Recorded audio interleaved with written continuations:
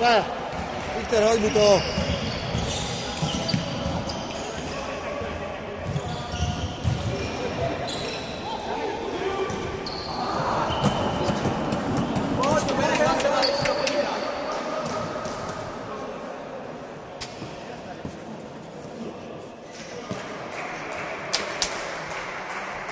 V akých situáciách Viktor dokáže prihrať? Tomu udelom sa? No, on nedokáže prihrať, on dáva len góly z predrankového priestoru, čo to doráža.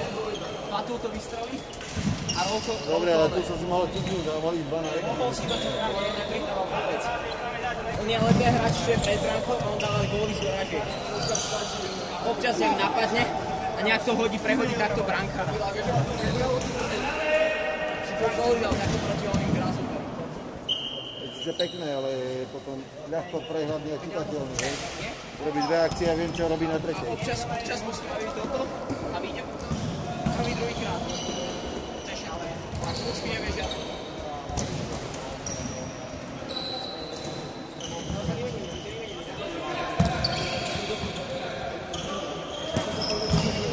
Nie, dobre Maťo. No, to si vedel, to je porelo.